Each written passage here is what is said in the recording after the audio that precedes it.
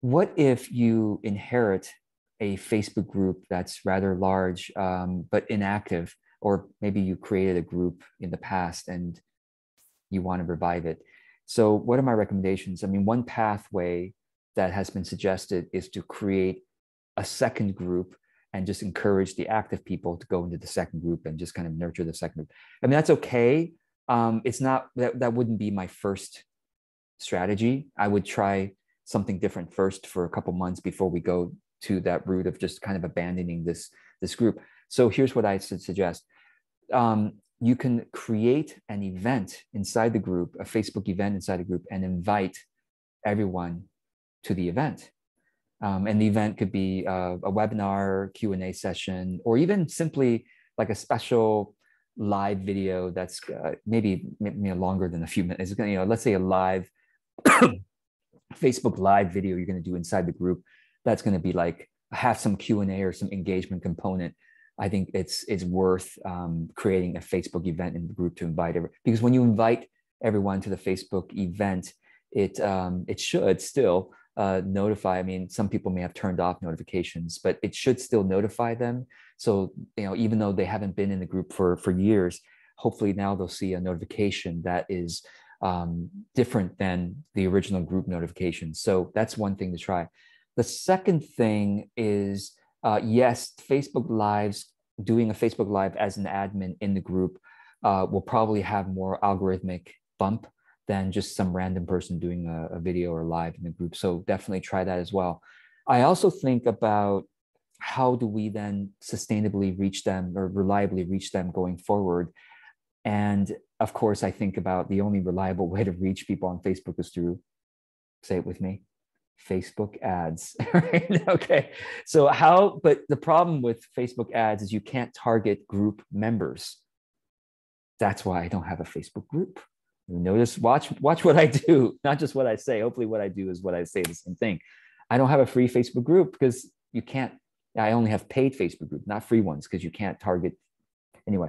So the but the way to do that, sort of like a like a like a hack, is to put a interesting video, upload your an interesting video to your Facebook page, business page, upload it to there, and then share that business page video in the group so that if they watch the business page video from within the group, you know, or just on their news feed, right? They're they're they're a group member. They see that you know you have posted as a group member a, a video, which is a Facebook page video, and then they watch the Facebook page video even for three seconds.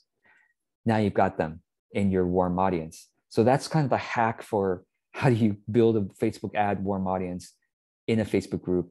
So, in other words, maybe a way to combine what I've just said is to create a Facebook event, invite everyone to a Facebook Live that's going to happen, but have the live happen in your Facebook business page which is then shared. So you have to do a couple things. One, create the event. Um, with uh, create the event, and um, in fact, you could even create the event and say, "Hey, everyone, excited! We're going to revive this group." The Facebook Live for kind of longevity purposes is going to stay. Is going to be on my Facebook business page because, of course, you can run Facebook ads on that live video in the future. So it's going to be on the Facebook business page come over to the business page to view the live video at this t- date at this time. And a few of them, of course, will then click onto your business page. And even just landing on your business page means you're going to be able to interact or run Facebook ads to them in the future. That's okay. That's a prep- preparatory steps. Um, when you finally go live on the business page, you need to take a moment right then and there and share the business page video into the group you know and you can always trim the video later so that you don't have the initial minute of fumbling around with sharing things in the group but you have to go live first and then share in the group.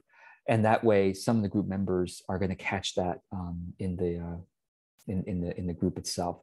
So that's what i would do stuff like that um, before you say because the thing is um, even if a group a facebook group is inactive um, when you start activating it and there's engagement in the group, the algorithm will help the inactive members see the stuff. And essentially, it's almost like you're building a new group from within an inactive group. You don't have to start a new group for this purpose because then you have to start a new group. You have to try to get everyone to move over to the new place. And you have to approve membership.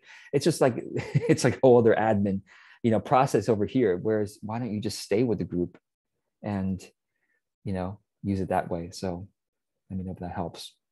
And yes, and Shweta, thank you for mentioning that. Um, you know what you've been doing is having them register on Zoom for a Zoom meeting, Zoom meeting, you know, so that they can engage verbally or or visually, uh, besides the chat as well. And then you go, you you use Zoom to go Facebook Live into the group. But I'm saying, okay, great, have them register. A few people will register.